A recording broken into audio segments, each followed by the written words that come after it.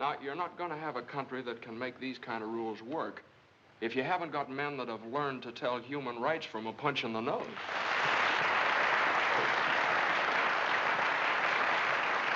That's good for a headline.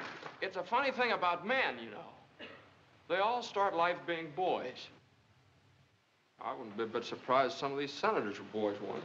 And that's why it seemed like a pretty good idea to me to get boys out of crowded cities and stuffy basements for a couple of months out of the year and build their bodies and minds for man-sized job because those boys are going to be behind these desks some of these days.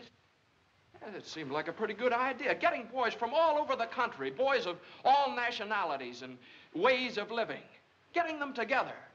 Let them find out what makes different people tick the way they do. Because I wouldn't give you two cents for all your fancy rules if behind them they didn't have a little bit of plain, ordinary, everyday kindness. And a, a little looking out for the other fella, too.